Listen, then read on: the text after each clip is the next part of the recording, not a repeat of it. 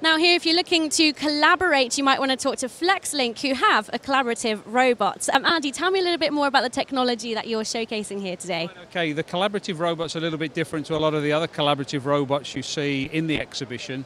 But what we're actually offering is a packaged unit, so it's a collaborative palletizing robot. Uh, for those people that perhaps don't know what collaborative robot is, it means that it doesn't need any additional guarding on the robot cell itself.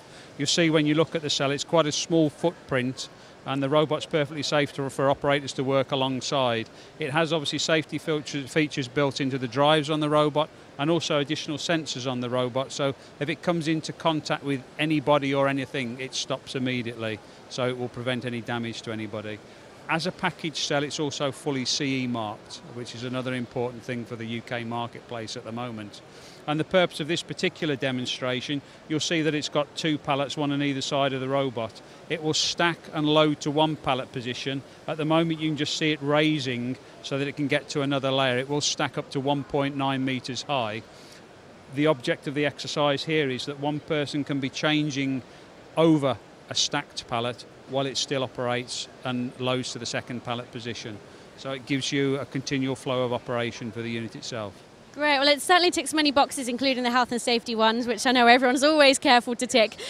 Um, let's talk about the efficiency. Do you know how it's helped uh, industries that you work with or companies that you work with to, to increase their efficiency? Yes, I mean, one of the big things, obviously, in terms of company efficiency these days is they need to try and lower the cost of manufacture of their items. And one of the key things, unfortunately, is obviously labour costs for a lot of people and, of course, reliability of labour. A number of our customers uh, are looking at it in terms of payback and the units can actually pay back themselves in less than 200 days in a lot of applications purely by the labour savings that can be made. And when I say labour savings, the people are often deployed elsewhere in the factory. Um, but it also helps with things like RSI claims and RSI injuries because doing operations such as this where you're loading boxes onto the floor or almost the floor and then stacking them up to 1.9 metres high is not a very easy, not a very nice operation for somebody to do continuously throughout the day. So this robot takes away that um, need for to have somebody doing that, and obviously then potentially in the future takes away the RSI claims.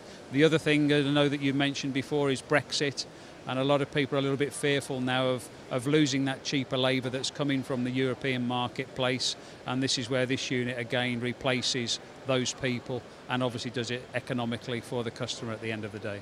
Super. So you've been around uh, in Milton Keynes for over 30 years. It sounds like you have a good insight on where the industry has been. Any other thoughts on where the industry is going and how you're hoping to stay ahead of that? Well, the collaborative, robot, primarily we do a lot of conveying systems, so we're into automation systems. The collaborative robot for us is a new venture for us because that's the way we see things going.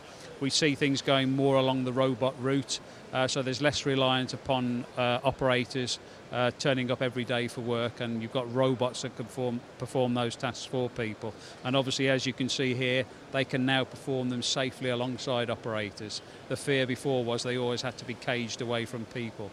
Well, the collaborative robots that we've now got uh, take that away. Great. Well, I hope you find lots of collaborations at the show. Thank you very much. Cheers.